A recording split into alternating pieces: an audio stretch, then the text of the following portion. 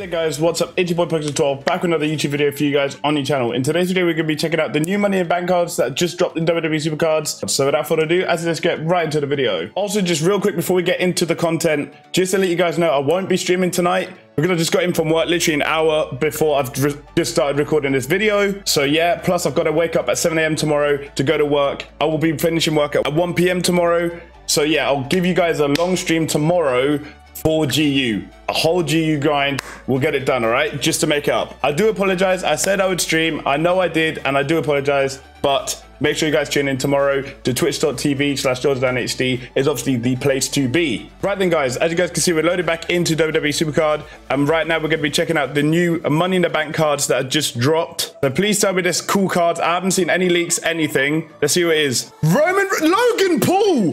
Oh, the card design's nice. Oh, wow. Wow. Wowie, wowie, wowie. Yeah, both cards look insane. Roman Reigns, obviously, for the match against Brock Lesnar, which is one of the sickest matches I've ever watched in any PLE or in any wrestling that I've ever watched before. And obviously Logan Paul for his insane match versus The Miz. But yeah, those cards look awesome. Awesome source. Let me know if you guys are going to be wanting to get these with the super coins in the comments below. And if so, if any of you guys go for the pro, the Discord link is in the description down below. So make sure you guys join that. Also going to quickly check out the store. Right, the five knuckle shuffle packs are back. And I'm going to give you guys them. I've got the single Cena now from the Atomic Drops, which you guys will be seeing on the YouTube shorts uh, at some point either today or tomorrow as well on the YouTubes. So let's just send these. Come on, can we get the can we get the pro? That's all I want. Thing is, it's 10%, right? I've already opened 10 packs, so I should be well within the 10%. There should be 15 packs in total if I don't get him, which then means they're definitely not worth it, and I'm being scamazed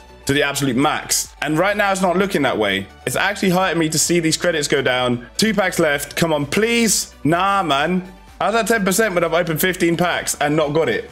That's crazy. Yeah, look, that's 15 packs. 10% is is absolutely not there. Didn't even get the live from that. So I'm definitely disappointed. Oh, Lord. Walk the ropes is back. You know I wouldn't be doing that. You guys have seen that on my channel already. Not happening. But with that being said, this is going to do it for the video. If you guys have liked this video, be sure to like button, subscribe if you haven't already, and I'll see you guys in my next one very, very soon. Bye!